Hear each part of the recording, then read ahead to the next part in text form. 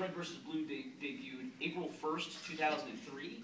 Uh, and we were able to produce now, we're in our 10th season, so we've been able to produce what's the equivalent of nine features in nine years with a team of about four to five people total for animation. Uh, granted, the fidelity is not something like Pixar, but it's perfect for the internet.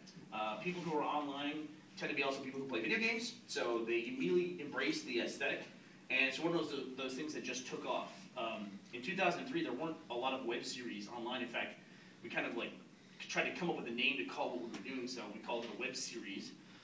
At One point we decided to call it like a sit.com or something stupid like that, some punny name. But uh, so so we put the first episode online.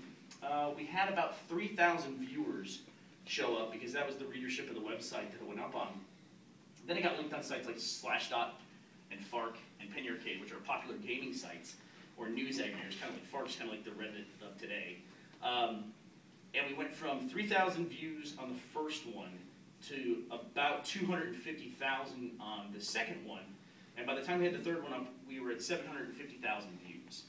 Uh, then by the time we got to the sixth episode, we were hitting a pretty steady 1 million views per episode. And so it's kind of like the popularity of this thing just went like, it was like falling up a cliff, basically. Uh, it just went nuts. And so we then were able to fund this ourselves. Uh, we struck a deal with Microsoft where we were able to sell DVDs of the product. Um, so you can see some of that. Uh, just today, we announced uh, we just hit 1 billion views on YouTube. Now, YouTube started in 2006, and we've been doing this since 2003. We actually have a focus at Rooster Teeth where we're crazy. We actually have a website, which is not something that people do much these days. But we do try to draw people back to our website. We have a very robust community there, some great uh, community technology that we built uh, back in 2005. But for YouTube, we were we just hit 1 billion total views on YouTube. Uh, last year, 2011, we were the eighth most viewed channel on YouTube, not including all the music channels, which get, you know, a video there can get 350 million views, just so many repeated plays. YouTube is pretty much like the new MTV at this point. Uh, we have 1.7 million subscribers on there.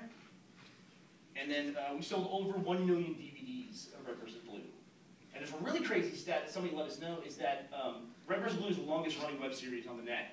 But we just found out that in this 10th season that we're going into, um, we're kind of pulling all the stops. We got Elijah Wood is doing a voice. Uh, we have some other guest voices as well that we haven't announced. But this season, when we crack, we pass a certain threshold of episodes, we get to episode 213, Red vs. Blue will be the longest running sci-fi show in American history. Doctor Who has like a three-decade lead on us, but uh, that's the fun thing about media. You can always qualify your records as much as you want to. Yeah, but in America, so like, you know, it's kind of the history of, of sci-fi in America where it's like, people love the show, it's very popular, but not popular enough, it gets canceled after one or two seasons. Also tends to be more expensive to make. But, um, so I think sci-fi has a great home on the web for people making it. And then we're still hitting uh, about 1 million views on average uh, per video.